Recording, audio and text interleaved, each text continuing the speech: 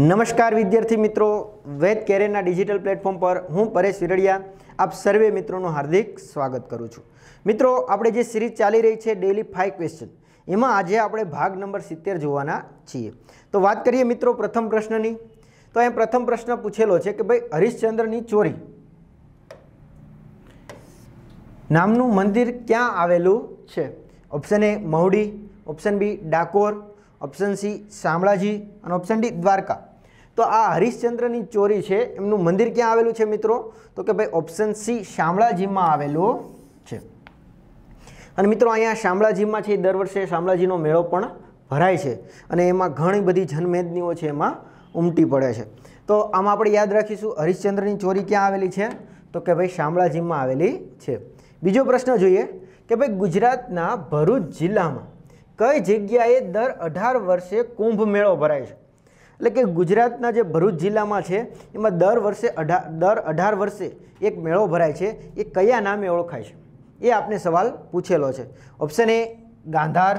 Option B Jambusar. Option C Dahej. અને option D બાળબુત તો કે ભાઈ, આ જે ગુજરાતમાં જે ભરાય છે, ભરૂચ જિલ્લામાં એ કઈ જગ્યાએ ભરાય છે? તો કે ભાઈ ભાડભૂત એટલે કે ઓપ્શન ડીમાં છે એ ભરાય. એટલે કે ભરૂચ જિલ્લાના ભાડભૂતમાં દર અઢાર વર્ષે છે એ મેળો ભરાય છે. એટલા માટે એમને કુંભનો મેળો છે એ ઉપમા આપવામાં આવેલી છે.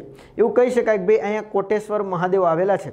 અને અથવા ઘણી જગ્યાએ આપણે કહી શકાય કે એવું પણ માહિતી છે કે ભાઈ ભાદરવાથી વૈશાખ મહિના એટલે કે જ્યારે નર્મદાની પરિક્રમાનો જ્યારે સમય હોય, ત્યારે છે આ મેળો ભરાતો હોય છે. એટલે કે લોકો છે એ પરિક્રમા કરતાં કરતાં છે એ અહીંયા પહોંચે છે. અને અહીંયા એક મેળા જેવું આયોજન થાય છે. એટલે કે દર કેટલા વર્ષે ભરાય છે મિત્રો? તો કે દર અઢાર વર્ષે છે એ ભાડભૂતનો મેળો ભરાય છે. જે કયા જિલ્લામાં આવેલો છે? તો કે ભરૂચ જિલ્લામાં આવેલો છે. આગળ જોઈએ પ્રશ્ન નંબર ત્રણ, કે ભાઈ નીચેનામાંથી મહાયાન સંપ્રદાયનો ગ્રંથ કયો છે? એટલે કે મહાયાન સંપ્રદાયનો ગ્રંથ કયો છે? ઓપ્શન એ આરોહિતુ ઓપ્શન બી અશોકાવન ઓપ્શન સી વિજયલાસી, અને ઓપ્શન ડી નામી સેતુ તો કે જે મહાયાન ધર્મનો છે, હવે પહેલાં તો આ મહાયાન ધર્મ છે. એ કયા ધર્મનો ભાગ છે અથવા પ્રકાર છે? તો કે ભાઈ બૌદ્ધ ધર્મનો પ્રકાર છે.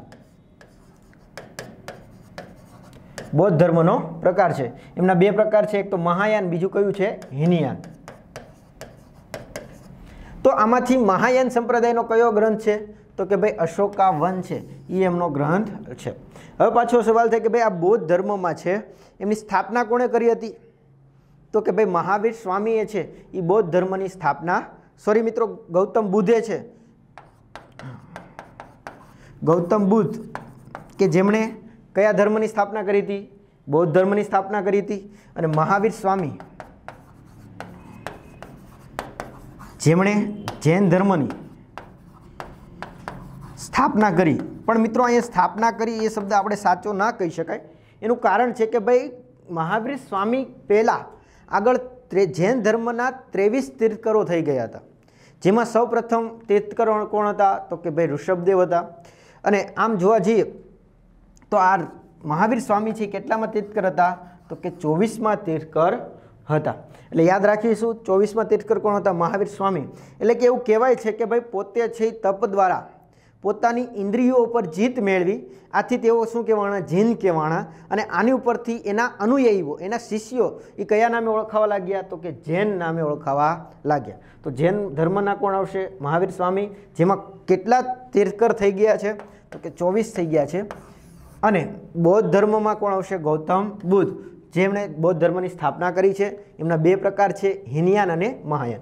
હવે આ હિનયાન અને મહાયાન છે એ એમના ભાગ ક્યારે પડ્યા? તો આના છે જ્યારે જે બૌદ્ધ ધર્મની ચોથી મહાસભા ભરાણી હતી.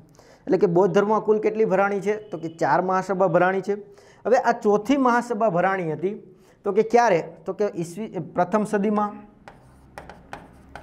એટલે કે પ્રથમ સદીમાં કોની, કયા રાજાએ ભરી હતી? તો કે કુષાણ વંશના રાજા કનિક્સ દ્વારા છે ભરવામાં આવી હતી. કોના દ્વારા ભરવામાં આવી હતી?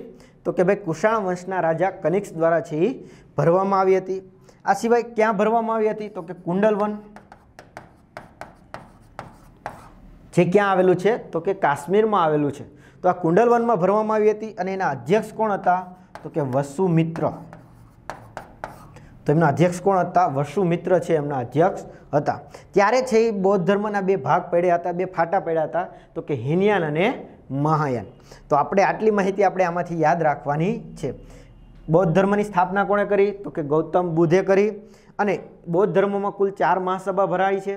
જેમાં ચોથી મહાસભા જે ભરનાર રાજા કોણ હતો? તો કે કુષાણ વંશનો રાજા કનિક્ષ હતો. ક્યાં ભરી હતી? તો કે કુંડલવનમાં ભરી હતી. જે ક્યાં આવ્યું છે? કાશ્મીરમાં આવ્યું છે. કઈ સાલમાં ભરી હતી? તો કે ભાઈ પહેલી સદીમાં અથવા ઈસવીસન બોતેરમાં ભરી હતી એવું આપણે કહી શકાય. જો મિત્રો, અહીંયા ઈસવીસન પૂર્વે નથી. કયું આપેલું છે? ઈસવીસન બોતેરમાં ભરાઈ હતી. અને એના અધ્યક્ષ કોણ હતા? વસુમિત્ર છે એમના અધ્યક્ષ હતા. સામે જૈન ધર્મની વાત કરી લઈએ તો કે જૈન ધર્મમાં ટોટલ કેટલા તીર્થકર થઈ ગયા? ચોવીસ.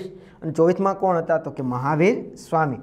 જેમે જૈનને પછી આ ધર્મના છે, એ લોકો છે કયા નામે ઓળખાવા લાગ્યા? તો કે જૈન ધર્મ તરીકે ઓળખાવા લાગ્યા. અને આમની પહેલાં છે ટોટલ ત્રેવીસ તીર્થકરો થઈ ગયા. હવે મિત્રો, અહીંયા જેમ આપણે બૌદ્ધ ધર્મની વાત કરી કે એમના બે ભાગ છે. તો એવી રીતના જૈન ધર્મના પણ બે ફાટા પડેલા છે. તો કયા કયા છે એ તમારે કોમેન્ટ બોક્સમાં જણાવવાનું છે. બૌદ્ધ ધર્મના કેટલા છે? તો કે બે કયા કયા હિનયાન અને મહાયાન. તો આવી રીતના જૈન ધર્મના પણ બે ભાગ છે. કયા કયા છે એ તમારે કોમેન્ટ બોક્સમાં જણાવવાનું છે. આગળ જોઈએ મિત્રો પ્રશ્ન નંબર ચાર, કે ભાઈ સ્વાગત. આ પ્રોજેક્ટ હેઠળ ગુજરાતના મુખ્ય પ્રધાન ક્યારે ફરિયાદીને સાંભળે છે? એટલે કે જે ગુજરાત આજે સ્વાગત કાર્યક્રમ છે, એમાં ગુજરાતના મુખ્ય પ્રધાન એટલે કે મુખ્યમંત્રી છે એ ક્યારે ફરિયાદ, એટલે કે જે પક્ષ ફરિયાદ કરનાર છે, એમને ક્યારે સાંભળે છે? તો આપણે અહીંયા વાર નક્કી કરેલા છે કે ભાઈ દર મહિનાના ચોથા ગુરુવારે ઓપ્શન બી દર મહિનાના બીજા શનિવારે ઓપ્શન સી દર મહિનાના પ્રથમ સોમવારે, અને ઓપ્શન ડી દર મહિનાના ત્રીજા બુધવારે. તો ભાઈ આ સ્વાગત પ્રોજેક્ટ અંતર્ગત ગુજરાતના મુખ્યમંત્રી છે એ કયા, ક્યારે છે એ બધા લોકો ફરિયાદી જે છે, એમને સાંભળે છે. તો કે ભાઈ, દર મહિનાના ચોથા ગુરુવારે છે એ સભાનું આયોજન થયું હોય અને મુખ્યમંત્રી ખુદ એ બધા પ્રશ્નોનું શું કરાવતા કરાવતા હોય છે, નિરાકરણ છે એ કરાવતા હોય છે. તો આપણે યાદ રાખીશું, દર મહિનાના ચોથા ગુરુવારે કયો કાર્યક્રમ છે, કયો પ્રોજેક્ટ છે, તો કે સ્વાગત અંતર્ગત આવશે. અને કયા વ્યક્તિ આવશે, તો કે ભાઈ, મુખ્ય પ્રધાન અથવા મુખ્ય મંત્રી.